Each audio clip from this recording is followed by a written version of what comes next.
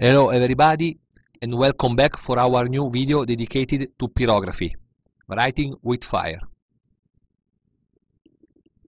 First of all, for a good result, we have to smooth the wood well with an electric tool and then by hand with a very thin sandpaper.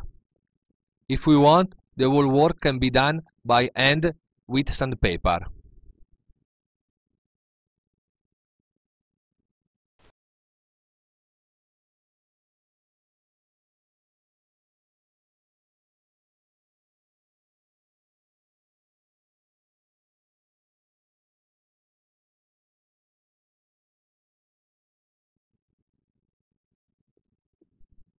Here we are smoothing the wood with sandpaper.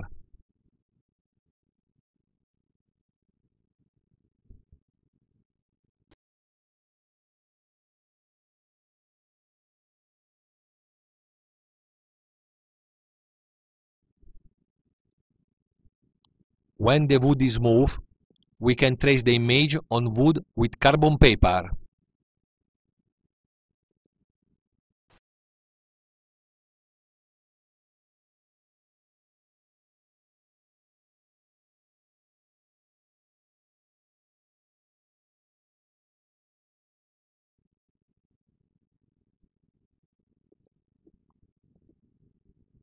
Now let's start wood burning with an adjustable temperature pyrograph.